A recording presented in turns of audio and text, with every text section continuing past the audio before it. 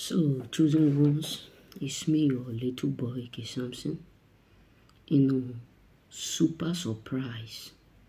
Your sources will do what? Will cost many.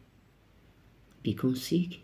Your sources will make many people around you become sick. Let me tell you, the kind of success you are about to do to achieve I'm not talking about the one around you now.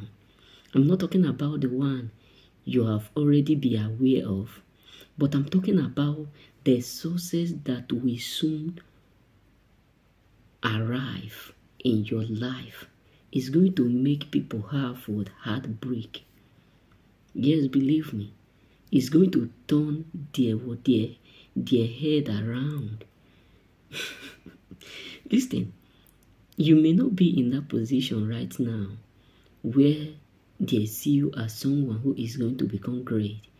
You may not be in that position right now where they you know where they're low where they're at or maybe they they they do one thing to another because they don't believe that something good will come from you but believe me soon and later they will realize what they did to themselves, what not what they did to you.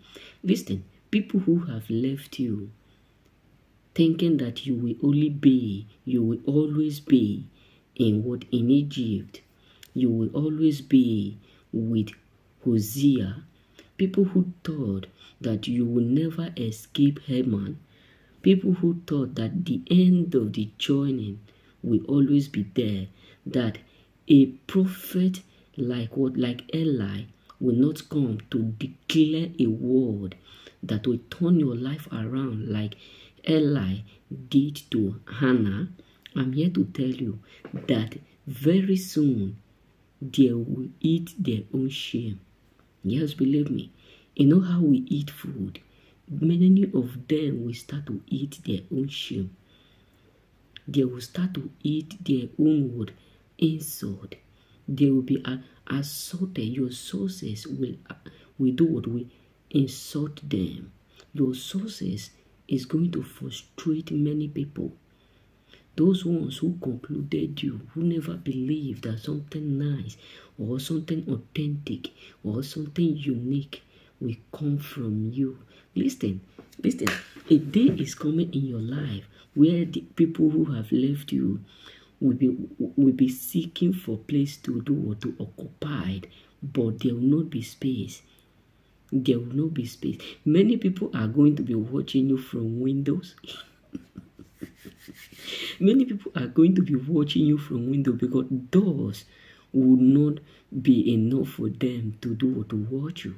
Some are going to be begging, Oh Lord, give us a, a, a privilege. Give us a privilege for us to relate with him again. You know, it's our oh Lord, it's our brother before. Mm.